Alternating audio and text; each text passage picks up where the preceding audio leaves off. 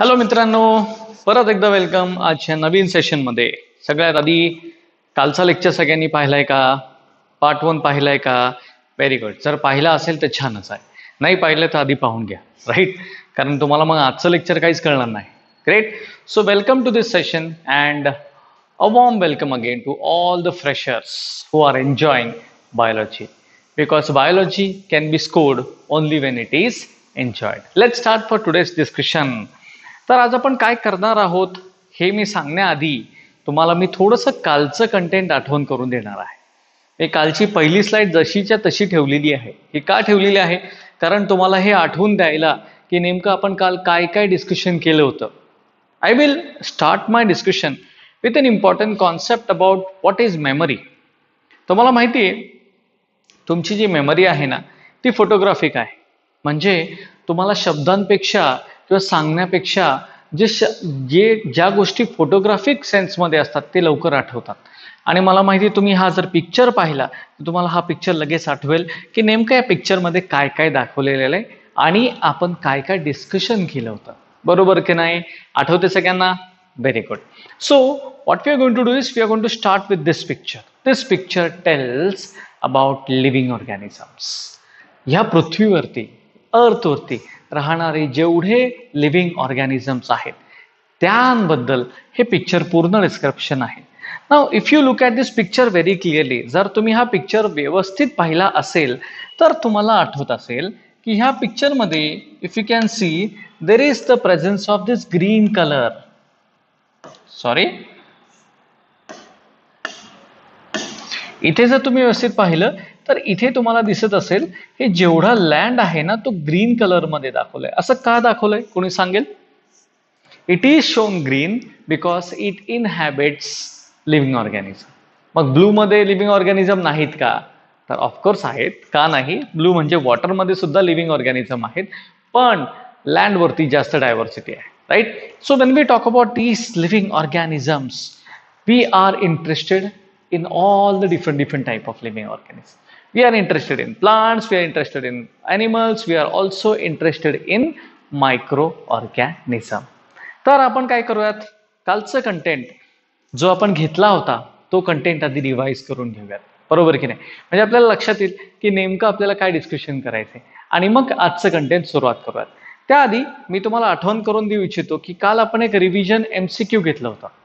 है ना?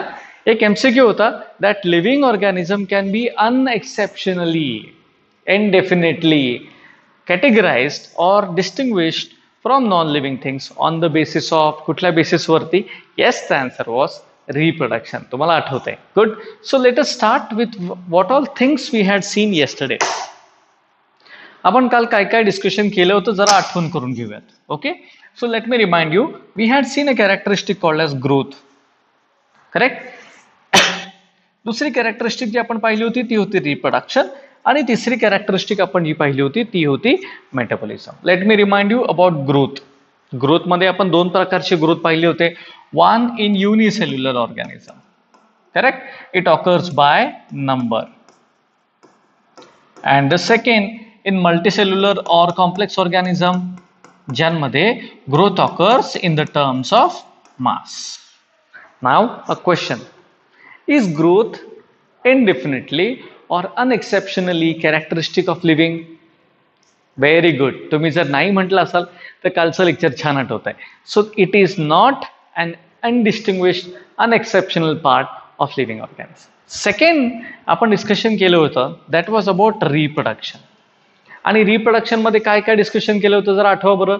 Yes we had talked about two type of reproduction त्यामध्ये आपण बोललो होतो reproduction basically is of sexual आणि असेक्शुअल टाईप आणि आपण आणखी एका प्रकारच्या रिप्रोडक्शनबद्दल बोललो होतो विच इज व्हेजिटेटिव्ह प्रपकेशन बरोबर की नाही? जिथे एक सिंगल पेरेंट इन्वॉल्ड असतो. त्याला कुठलं रिप्रोडक्शन म्हणतात? Yes it is a sexual as well as vegetative बरोबर? आणि जिथे दोन पेरेंट इन्वॉल्ड असतात जिथे गॅमेट फॉर्मेशन इन्वॉल्ड असतात त्याला आपण म्हणतो सेक्शुअल रिप्रोडक्शन मी जास्त डिटेलमध्ये जात नाही. फक्त एक प्रश्न विचारतो मी. जर तुम्ही एन सी आर टी खरंच वाचली असेल तर where do we find the formation or the reproduction which is called as true regeneration कोणी सांगू शकतं का? ट्रू रिजनरेशन आपल्याला कुठल्या ऑर्गॅनिझममध्ये पाहायला भेटतं? If you have guessed very good it is in planaria. तर माझी एक रिक्वेस्ट आहे सगळ्यांना की जसं तुम्ही माझं लेक्चर ऐकतात झालं लेक्चर की immediately N C R T उघडायची. आणि या एन सी आर टीमध्ये जरा डिटेलमध्ये पाहायचंय वाचून घ्यायचं की काय काय आपल्याला इम्पॉर्टंट कॉन्सेप्ट दिसत आहेत लक्षात घ्या. मी तुम्हाला आयडिया सांगणार आहे. To remember things very clearly पण ते आयडिया सांगताना मला थ्रू आउट द क्लास घ्यावं लागणार. Correct so keep connected with this classes आणि एन्जॉय करत so we had talked about reproduction पुढे आपण बोललो होतो अबाउट मेटाबॉलिझम है ना? Metabolism is divided into और is made up of two types not two types actually two type of reaction first ones are called as anabolism second प्रकारचे reaction त्यांना आपण म्हणतो कॅटाबॉलिझम आठवलेत का? बरोबर? So metabolism usually occurs only in living organisms and म्हणून it is an unexceptional indefinite category or characteristic of living organism बरोबर? All clear इथपर्यंत? व्हेरी गुड तर आपण हे सगळे गोष्टी कालच्या क्लासमध्ये डिस्कस केल्या होत्या. आणि इफ यू ऑल रिमेंबर की आपण आणखी काही कॅरेक्टरिस्टिक सुद्धा पाहिले होत्या. पण त्या कॅरेक्टरिस्टिक आपण डिस्कस केल्या नव्हत्या. What are those particular characteristics? let's start with the first important characteristic. What do you see in this picture? बघा आणि मला सांगा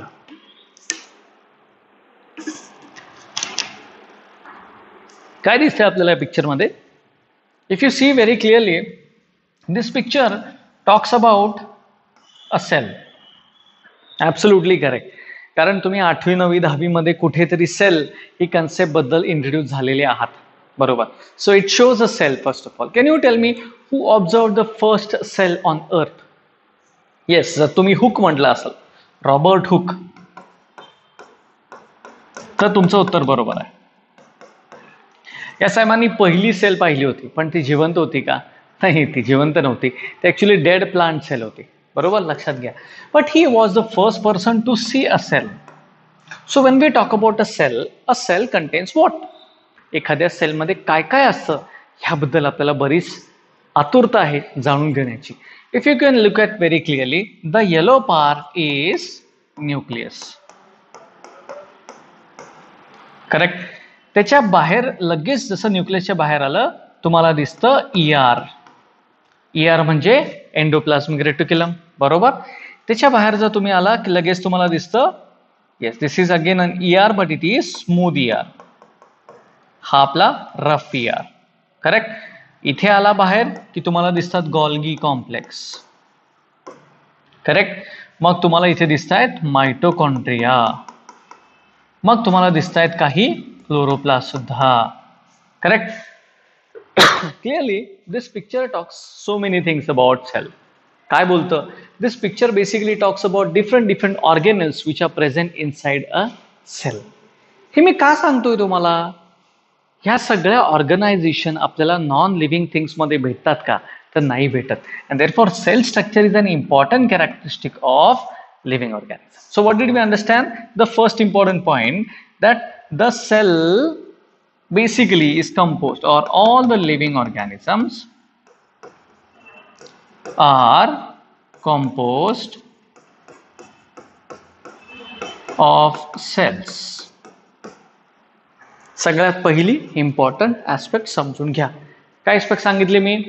ऑल लिव्हिंग ऑर्गॅनिझम सगळे लिव्हिंग ऑर्गॅनिझममध्ये सेल्स प्रेझेंट असतात right an organism could be unicellular an organism could be multicellular पण all living organism contain cell सगळ्यात पहिली important thing right what does a cell contain a cell is consist of subcellular organelles. एका सेलमध्ये सेलच्या आतमध्ये तुम्हाला काय पाहायला भेटणार आहेत? You find organelles which are the organelles S E R R E R Golgi and others let's understand this thing this is a perfect makeup of the cell हे सेलला बनवतं कंप्लीट करतं. Let's understand so a cell is consisting of consisting which are the are say for example R E R SER, Golgi, mitochondria and others मी जास्त काही डिटेलमध्ये हे लिहित नाही कारण मला त्याच्यामध्ये टाइमपास करायचा नाही what I have to focus on particularly is how cell is made up of if you see very clearly this cell is also consisting of an outer covering which is called a cell wall बरोबर म्हणजे sale याचा जो environment आहे याला बाहेरच्या एन्व्हायरमेंटपासून separate करण्यासाठी. काय करण्यासाठी? सेपरेट करण्यासाठी. जे स्ट्रक्चर क्रिएटेड आहे that is called as cell wall so it separates outer environment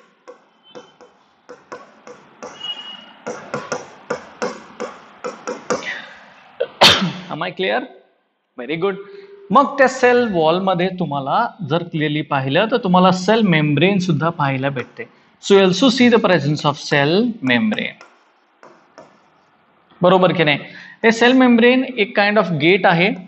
Okay so gate will allow in and out of material which is called as cell membrane मी जास्त लिहित नाही आहे please try to focus correct तर आता आपल्याला कळलं की एका सेलमध्ये ऑर्गेनेल्स आहेत त्याला कवरिंग आहे त्याला सेल मेम्ब्रेन आहे जे काही गोष्टी आतमध्ये आणि बाहेर येऊन जाऊन करून देते. This actually makeups the cell structures is that clear with everyone आणि हे सेल स्ट्रक्चर आपल्याला कुणामध्ये पाहायला भेटत नाही we don't see this particular cell structure or organisation in non living objects am I clear with everyone? Please try to focus on this particular part very, very, very clearly. Right? Now, when I talk about the next important aspect, cellular organisation कुठपर्यंत येतं आणि आपण कुठपर्यंत ते fix करून ठेवलेलं आहे If you see it very clearly, cellular organization divides all the cells into two categories. One category is called as prokaryotic. Second category is called as eukaryotic. Is it clear? So a cell which is well defined is called as eukaryote. Okay. Actually, its nucleus is well defined. आणि ज्या सेलचा nucleus primitive असतो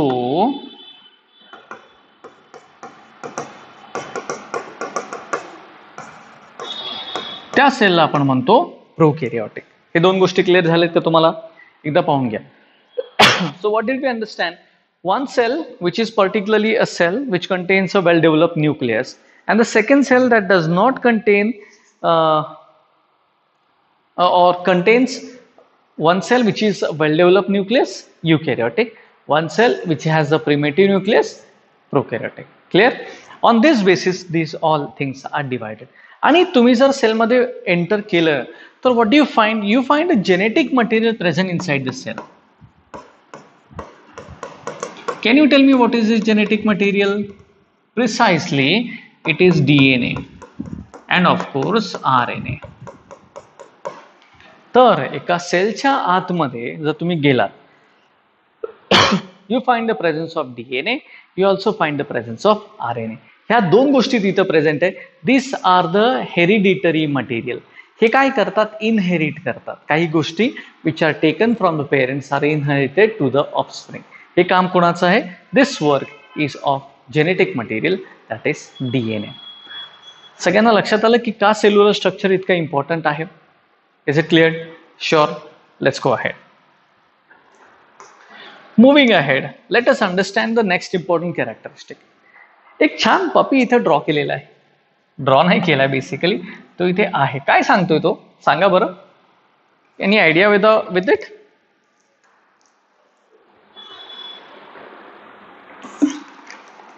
तुम्ही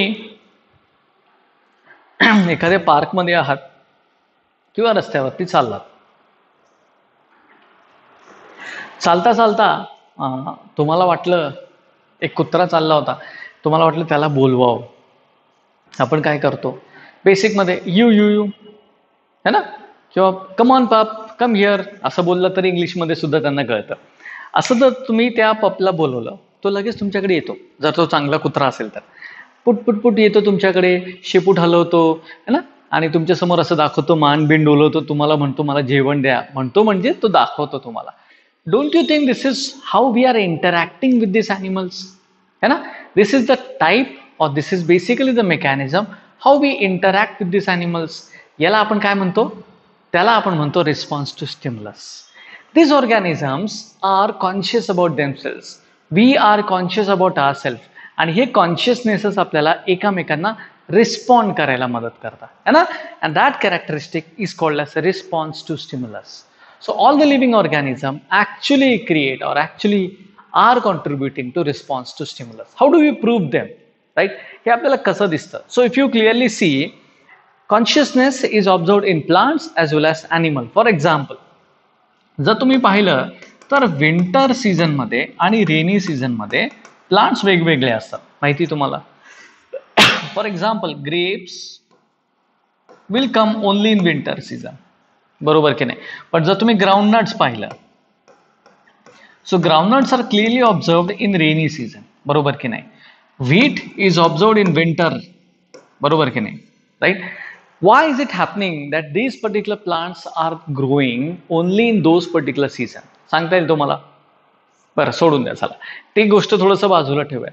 मला तुम्ही सांगा दिवसातला सगळ्यात मोठा sorry दिवसातला नाही वर्षातला सगळ्यात मोठा दिवस कधी असतो? Which day is the longest day on earth बघा बरं जरा थोडंसं जनरल नॉलेज स्वतःचं चेक करा हलवा बरं स्वतःला. आणि मला सांगा कधी असतो? ॲब्सोल्युटली करेक्ट जर तुम्ही व्यवस्थित गेस केला असेल तर.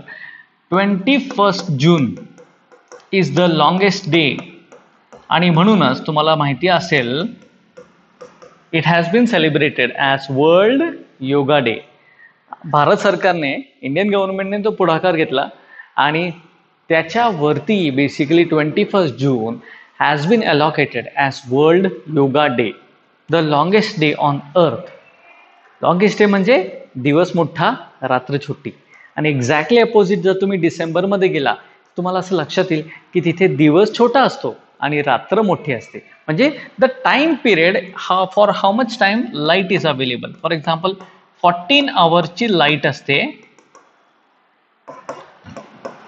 आणि ten आवर्सचा night period or dark period लक्षात आलं तुम्हाला? म्हणजे सांगायचा मुद्दा आला की इथे चौदा तास दिवस असतो दहा तास रात्र असते.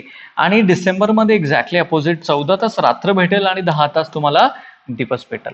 So this basically is called as period photo period आणि ह्या फोटो पिरियडला प्लांट्स रिस्पॉन्ड करतात. जे प्लांट्सला लॉंग डे लागतो ते रेनी सीझन समरमध्ये ग्रो करतात. आणि ज्या प्लांट्सला शॉर्ट डे लागतो ते विंटर सीझनमध्ये ग्रो करतात. लक्षात आलं तुम्हाला? See this is how we are responding to stimulus. This is example number one example number two plant तर करतात बाबा रे. रिस्पॉन्ड करतायत छानपैकी. पण मला सांगा ॲनिमल्स करतात का रिस्पॉन्ड ॲनिमल्स करतात? येस ॲब्सोल्युटली करतात. मी त्याच्यामुळेच हा डॉग इथं ड्रॉ केलेला आहे. Dogs are referred to as seasonal breeders मला सांगा सीझनल ब्रीडर म्हणजे काय? एनी आयडिया नो आयडिया पर मी सांगतो. सीझनल ब्रीडर म्हणजे काय? आपल्या मराठी महिन्यांमध्ये जर तुम्हाला माहिती असेल we have a particular month which is called as Bhadrapad. आणि या महिन्यात असं सांगितलं जातं it is basically the period when the when the rainy season is ending up पूर्ण एंड पण नाही झालेला आहे पण पाऊस चाललाय चांगला चांगला पाऊस चाललाय थंड वातावरण आहे. आणि जर तुम्ही व्यवस्थित पाहिलं तर आपल्याला असं लक्षात येतं की ह्या सीझनमध्ये भाद्रपद या महिन्यामध्ये we observe that the dogs are allocating themselves in reproductive activity the dogs are reproducing ते ब्रीडिंगमध्ये स्वतःला एंगेज करतायत. हे टिपिकली आपल्याला डॉग्समध्ये पाहायला भेटतो. Therefore dogs are called as seasonal breeders म्हणजे ते एक पर्टिक्युलर सीझन पाहतात. They will breed only during a particular season therefore it is refer to as seasonal breeders is it understood see this is how they are interacting with the environment ते एन्व्हायरमेंटशी interact करतायत आणि interact केल्यानंतर they are doing the day to day activities with the environment humans काय आहेत माहिती तुम्हाला? Humans are not classified in to seasonal breeders we are continuous breeders लक्षात ओके काव seasonal breeder. Likewise right? So we have different different type of breeding activity. फक्त सांगायचा मुद्दा हाच की ह्या breeding ऍक्टिव्हिटीमुळे particularly we are interacting with the environment I hope this point is clear with every one sure point clear let's go ahead next point and the most important point according to me is variation आणि adaptation जरा बघा बरं ह्या पिक्चरकडे काय सांगते picture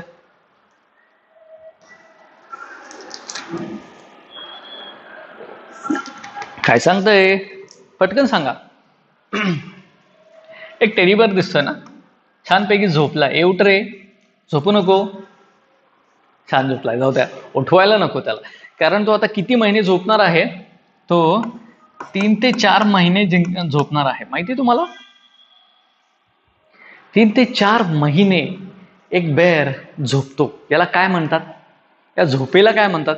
या झोपेला आपण म्हणतो हायबरनेशन ही काय प्रोसेस आहे? जरा समजून घेऊयात आपण. स्पेशली विंटर सीझन ज्यावेळेस येतो.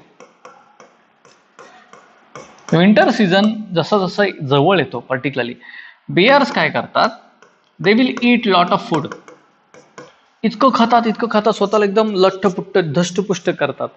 धष्टपुष्ट नाही मी तर म्हटलं त्याला सांगावं लागेल they make them cells fatty एकदम स्वतःला फॅट म्हणजे करतात. ठीक आहे? या सीझनमध्ये ते भरपूर खातात. आणि खाल्ल्यानंतर जसं जसं विंटर क्लोज येतं आणि जसं विंटर सुरू होतं they undergo sleep they will sleep for entire day and night दिवसभर रात्रभर झोपतील. आणि किती वेळासाठी झोपतात? They will sleep for three to four months एवढा वेळ. Do know what is this thing called as yes this is called as hibernation अशी ऍक्टिव्हिटी आहे ज्यावेळेस animals like bears they will sleep for almost how many time? Yes they are sleeping for 3 to 4 months. This phenomena is called as hibernation. ही काय आहे माहिती तुम्हाला? This is a kind of a adaptation which has been created by bears to suit to the environment winter सीझनमध्ये त्यांना खायला भेटणार नाहीये. म्हणून ते काय करतात? खाऊन घेतात एकदाच आणि मग झोपतात. चार महिने. आणि मग उठून परत शिकार करतील and follow the normal day to day activities this metabolism is find only is found only in bears second example is about evolution मला सांगा ह्युमन बिंग्स इव्हॉल्व होत आहेत का? किंवा are we products of evolution what do want to say आहेत? तुम्हाला माहिती आहे आपले पूर्वज कोण होते? फॉर ए काइंड इन्फॉर्मेशन आपले पूर्वज वानर होते असं सांगितलं जातं. म्हणजे they were monkeys we have evolved from monkeys अशी थिअरी आहे. चार्ल्स डार्विननी हे सांगितलंय वालसने सांगितले बरेच बरेच डिफरंट डिफरंट सायंटिस्टनी ही गोष्ट सांगितली की वी आर इव्हॉल्विंग म्हणजे आपल्यामध्ये काय होतंय? एव्होल्युशन होत आहे आणि एव्होल्युशन कशामुळे होत आहे so basically there is our DNA या डीएनए मध्ये चेंजेस होतात. लक्षात घ्या. What do we have we have DNA DNA मध्ये काय होतात? चेंजेस होतात. आणि चेंजेस घडल्यानंतर हे changes lead to variations this variations are accepted by our body आणि ऍक्सेप्ट केल्यानंतर हे व्हेरिएशन्स काय होतात? इनहेरिट करतात. इनहेरिट म्हणजे हा पेरेंट आहे. हा पेरेंट आपल्या मुलाला स्वतःचे व्हेरिएशन्स इनहेरिट करतो. Right when these things are inherited हे गोष्टी ज्यावेळेस इनहेरिट होतात म्हणजे जातात एका जनरेशनकडून दुसऱ्या जनरेशनकडे यालाच आपण इनहेरिटन्स म्हणतो. And this inheritance in future lead to evolution आता मी का सांगतोय तुम्हाला? कारण ह्या दोन्ही गोष्टी हायबरनेशन आणि एव्होल्युशन हे कॅरेक्टरिस्टिक फीचर आहे कोणाचे? लिव्हिंग ऑर्गॅनिझमचे ह्या गोष्टी आपल्याला नॉन लिव्हिंगमध्ये भेटत नाही. Very very very clearly therefore variation and adaptation is an important feature फटाफट लिहून घ्या बरं आपल्या नोटबुकमध्ये एकदम इझी पॉईंट मी तुम्हाला इझी पॉईंटमध्ये सांगितलेलं आहे. पाहिजे असेल तर या बेअरची पण डायग्राम काढा. आय एम शुअर तुम्ही डायग्राम काढणार. आहात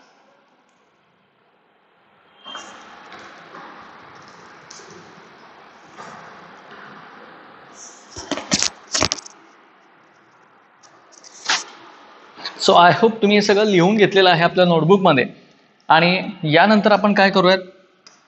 पटकन समराईज करूयात काय काय कॅरेक्टरिस्टिक आहेत लाईफचे growth is first important characteristic reproduction second metabolism मग cellular structures response to stimuli आणि व्हेरिएशन आणि ॲडॅप्टेशन यातले काही कॅरेक्टरिस्टिक फीचर इनडेफिनेट आहे. For example reproduction for example metabolism for example cellular structure आणि फॉर एक्झाम्पल व्हेरिएशन आणि adaptation. हे characteristic feature clearly फक्त आणि फक्त कुणामध्ये पाहायला भेटतात?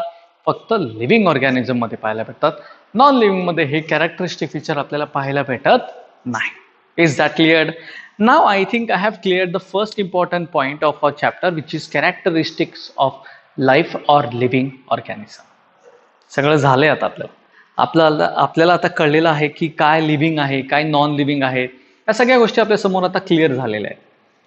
Now the second question arises की एवढे भन्नाट प्रकारचे लिव्हिंग ऑर्गॅनिझम आहेत. इतके सारे लिव्हिंग ऑर्गॅनिझम या पृथ्वीवरती आहेत. मग यांना आपण क्लासिफाय कसं करायचं? किंवा ह्या सगळ्यांना आपण लक्षात कसं ठेवायचं? या सगळ्यांना आपण एकत्र कसं आणायचं?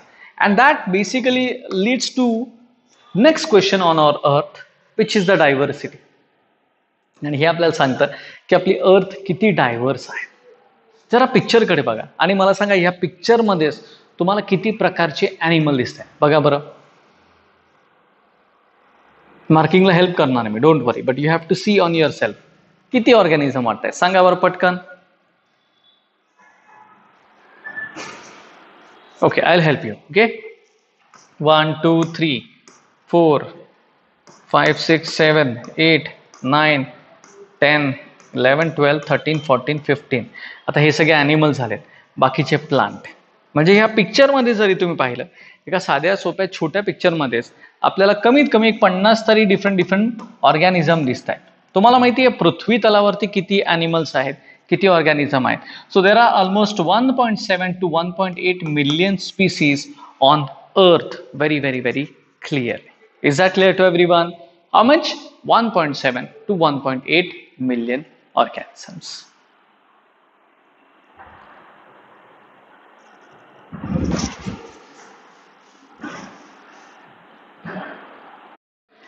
तर बायोडायव्हर्सिटी म्हणजे काय? हा मोठा प्रश्न आला. आताच मगाशी मी तुम्हाला सांगितलं की अख्ख्या जगात ह्या पिक्चरमध्ये जर तुम्ही पाहिलं तर तुम्हाला कमीत कमी पन्नास ऑर्गॅनिझम दिसत आहेत. बरोबर की नाही?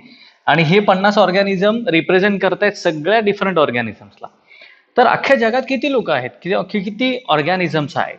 If you look at the same picture it is one point seven two one point eight million species प्रश्न हा येतो की हे सगळे जे स्पीसीस आहेत यांना एकत्र आपण काय म्हणतो?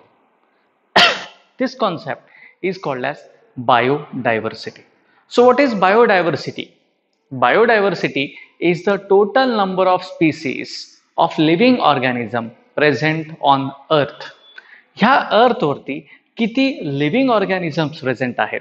त्याचा अख्खा नंबर त्याचा टोटल नंबर संपूर्ण नंबर याला आपण म्हणतो बायोडायव्हर्सिटी नेमकं आपण बायोडायव्हर्सिटीबद्दल का बोलतोय? किंवा आता आपण बायोडायव्हर्सिटी ही कन्सेप्ट का काढलेली आहे? So just to understand very clearly biodiversity is the study of diversity of life या जगात लाईफ किती भिन्न प्रकारची आहे? किंवा लाईफमध्ये किती डिफरंट डिफरंट फॉर्म्स आहेत. हे स्टडी करणं बायोडायव्हर्सिटीकडनं आपल्याला कळतं. फॉर एक्झाम्पल तुमच्या शेजारी एक प्लांट आहे. तो एक लिव्हिंग ऑर्गॅनिझम आहे.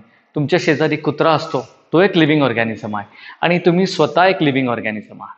तर ह्या सगळ्यांचं ज्यावेळेस आपण एकत्रीकरण करतो एकत्र स्टडी करतो त्यावेळेस त्याला आपण म्हणतो बायोडायव्हर्सिटी बायोडायव्हर्सिटी स्टडी करताना बरेच डिफरंट सायंटिस्टनी स्वतःचं इनपुट दिलं.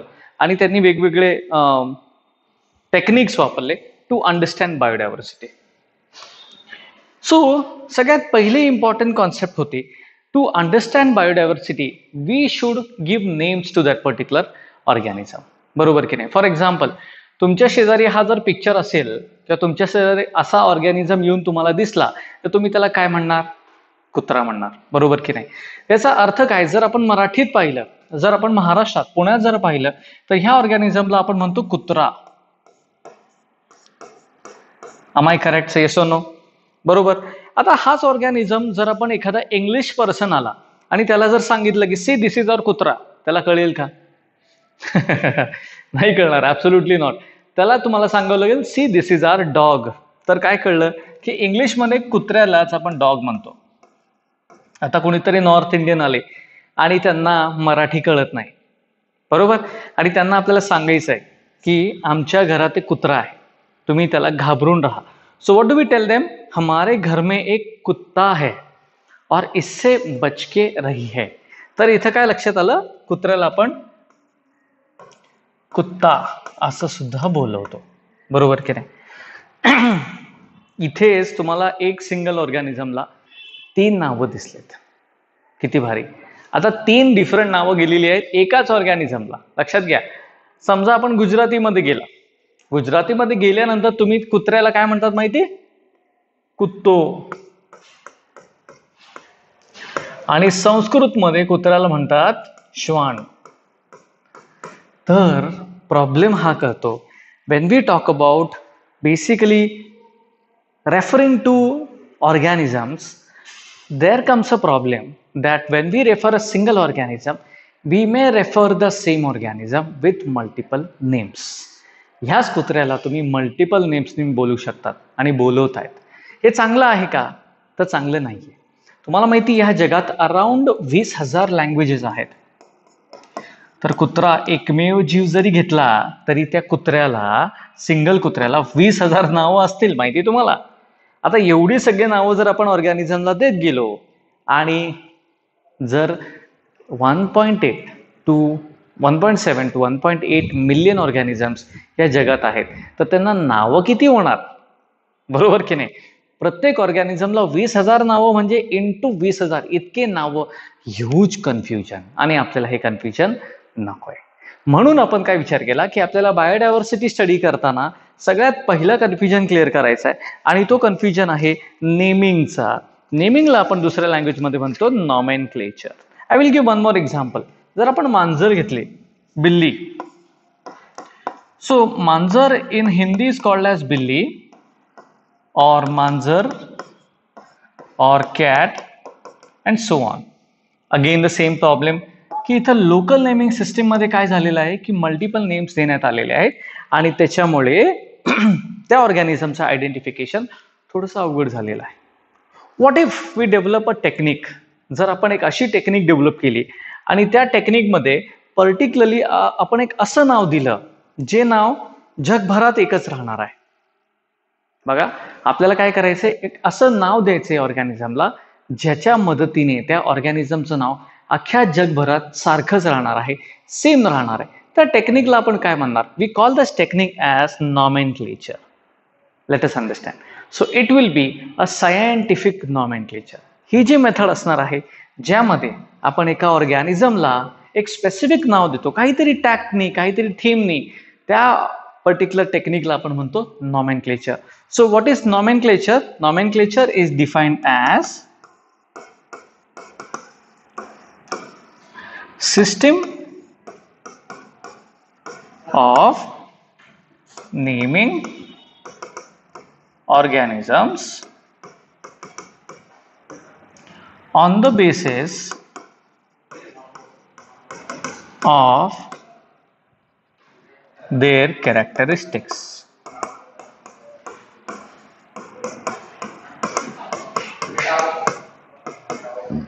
घ्यावर लिहून पटापट So what is nomenclature? It is a system of naming organisms on the basis of their characteristics. For example, जर तुम्ही मँगो स्टडी करताय तर मँगोला नाव देताना आपण एक असं नाव देऊ शकतो which will be referring to its characteristic त्या कॅरेक्टरिस्टिकमध्ये त्याचं नाव पाहिजे. For example if you talk about mango तर मँगोला सायंटिफिक नेम आहे Mangifera indica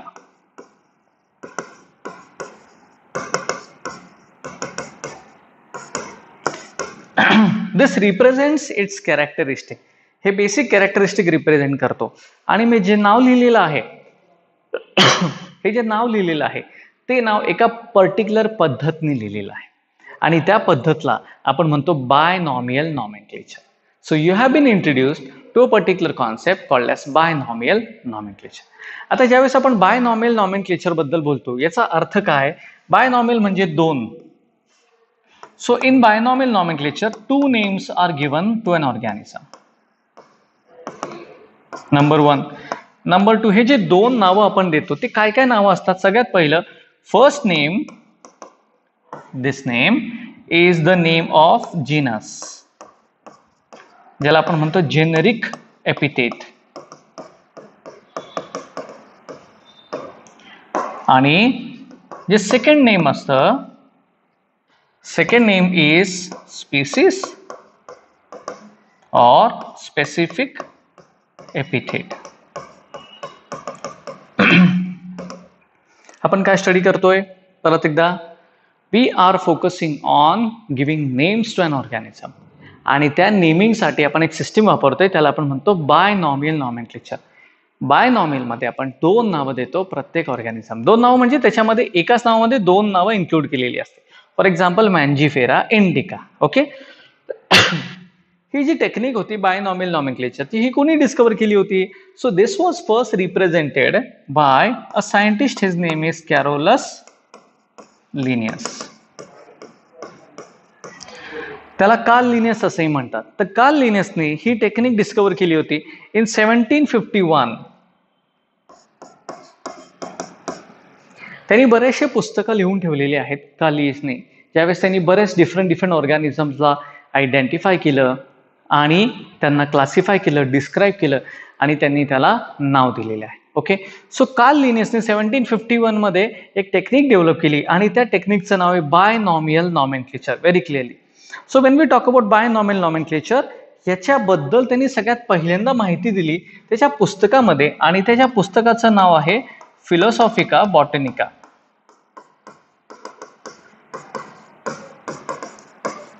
clear with everyone या पुस्तकामध्ये त्यांनी सगळ्यात पहिल्यांदा बाय नॉमेल नॉमेन बद्दल कॅरेक्टरिस्टिक किंवा बाय नॉमेल नॉमेन काय आहे ते त्यांनी तिथे मेन्शन केलेलं आहे. त्यांनी अजूनही बरेचसे पुस्तकं लिहिले फॉर एक्झाम्पल सिस्टमा नेचर आहे त्याच्यामध्ये त्यांनी सिस्टमॅटिक्सबद्दल मेन्शन केलेलं आहे. Not very important for you तर इथपर्यंत आपल्याला कळलं की बाय नॉमेल नॉमेन काय असतं. काल लिनेसने सांगितलं की प्रत्येक ऑर्गॅनिझमला दोन नावं असावी. ठीक आहे? पण एवढंच होतं का? तर नाही. We also have a system call as trinomial ज्यामध्ये तीन नावं दिली जातात. Okay and we also have a polynomial nomenclature ज्याच्यामध्ये मोर दॅन फाईव्ह नाव त्या पर्टिक्युलर ऑर्गॅनिझमला देता येतात. पण ज्या वेळेस आपण ट्रायनॉमेलकडे जातो किंवा पॉलिनॉमेलकडे जातो कन्फ्युजन वाढतं. आणि आपला ऑब्जेक्टिव्ह असा आहे की आपल्याला कन्फ्युजन वाढवायचा नाही. आपल्याला फक्त टार्गेट आहे आपल्याला फक्त फोकस करायचा आहे की त्या ऑर्गॅनिझमचं नाव अख्ख्या जगभरात all over the world it should be same um I clear to every one and I hope this particular concept is clear very good so this was about binomial nomenclature now let's understand what are the rules of binomial nomenclature काय काय rules असावे ज्यावेळेस आपण binomial नॉमेनक्लिचर करतो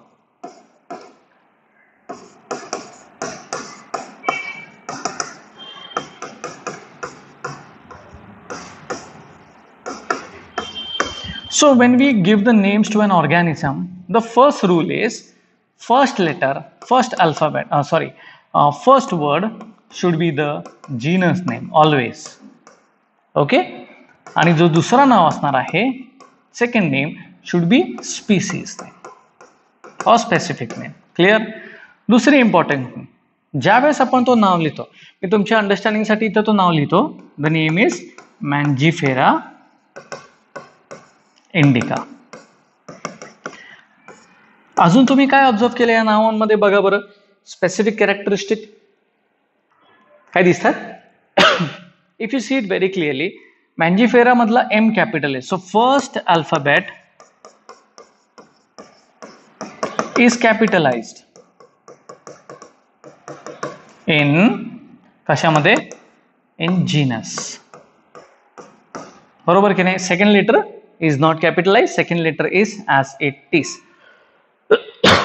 दुसरी गोष्ट दोन्ही नावांमध्ये there is a space space between two names आणि तिसरी most important thing when written ज्या वेळेस आपण हे नावं लिहितोय when we write this particular names what is happening they are underlined तुम्ही जर व्यवस्थित पाहिलं असेल तर इथे ते नावं लिहिल्यानंतर ही जशी मी नावं लिहिलेली आहेत हे नावं लिहिल्यानंतर मी त्यांना अंडरलाईन केलेलं आहे correct so this is the system of binomial nomenclature next thing if it is typed जर त्याला आपण टाईप केलेलं आहे at that time the name should be written in italics basic rules एवढेच आहेत. काय काय कळलं?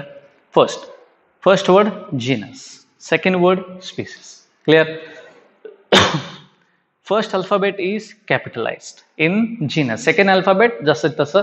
सेकंड वर्ड मधला पहिला अल्फाबेट सुद्धा जसं तसं. Space between two lines when written they are underline आणि when type they are in italics पटापट लिहून घ्या बरं.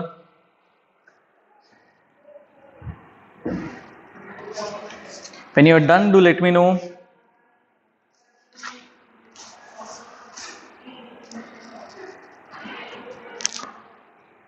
Okay so this are the rules for binomial nomenclature हे क्लिअर झालं सगळ्यांना? Very good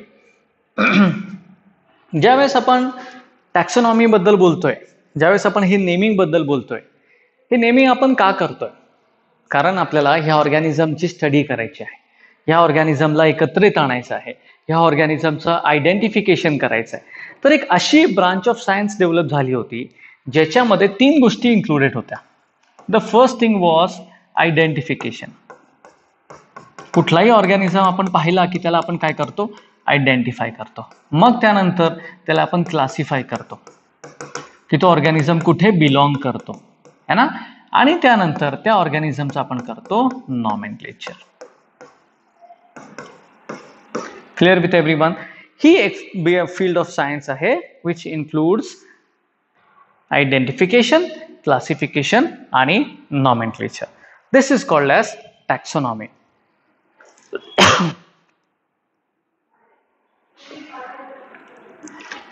so when we talk about taxonomy for example आपण जर एखादा प्लांट घेतला फॉर एक्झाम्पल अनियन तर अनियनचं सायंटिफिक नेम आहे ॲलियम सेपा लक्ष देऊन व्यवस्थित बघा. Onion is called as Allium cepa तर अनियन हा एक प्लांट आहे. सगळ्यात इम्पॉर्टंट थिंग दुसरी इम्पॉर्टंट थिंग अनियन हा जो प्लांट आहे हा जीनस अलियम अलियमला बिलॉंग करतो.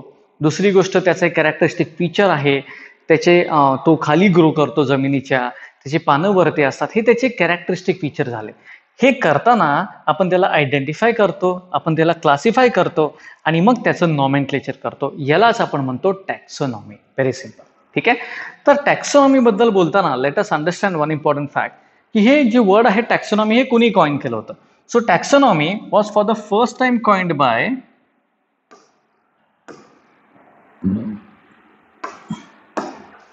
It was first coined by the scientist A.P. de Candolle. He first coined taxonomy. हे काही इम्पॉर्टंट नाव आहेत लक्षात घ्या तो शब्द आहे taxonomy it was first coined by A P D Candolle who is called as the father of taxonomy yes मग अशीच आपण पाहिलं.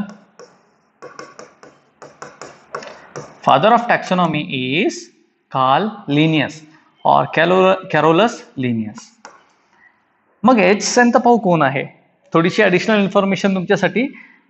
H Santapau is the father of Indian taxonomy त्यांनी इंडियन नेमिंग सिस्टीममध्ये खूप कॉन्ट्रीब्युशन दिलं आणि पर्टिक्युलर त्यांनी तिथे खूप काम केलं. Huxley is called as the the one who originated one who started systematics ठीक आहे?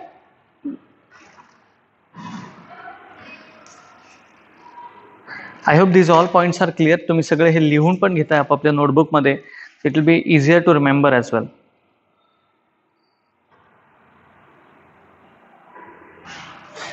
clear so Huxley is one who has coined the term systematics बरोबर? तर आपण हे टॅक्सॉनॉमी का स्टडी करतोय? ह्याचा ऑब्जेक्टिव्ह सगळ्यांना कळलेला आहे. It is just made sure to identify to classify and to give name to and organism correct basically आज आपण बऱ्याचशा गोष्टी डिस्कस केल्या आहेत आजच्या क्लासमध्ये we started with the characteristics of organisms त्यानंतर आपण पुढे गेलो. पुढे गेल्यानंतर आपण बऱ्याचशा कॅरेक्टरिस्टिक पाहिल्या about why or how is biodiversity differentiated किती डिफरंट डिफरंट टाईपचे ऑर्गॅनिझम्स आहेत ह्या जगात आणि त्यांना आपण नेम कसं करतो? त्याची सिस्टीम आहे. त्याला आपण म्हणतो रूल्स ऑफ बायनॉमेल नॉमेनक्लेचर ही सुद्धा सिस्टीम आपण पाहिली होती. And finally we have seen what is taxonomy आजचा कंटेंट जर तुम्हाला आवडला असेल तर परत एकदा रिवाईज करा. रिवाईज केल्यानंतर यातले सगळे बेसिक्स आहेत ते परत एकदा पाहून घ्या आणि एन सी आर टीमधनं परत एकदा रिवाईज करून घ्या. I hope that's all for today we will meet again in the next part thank you so much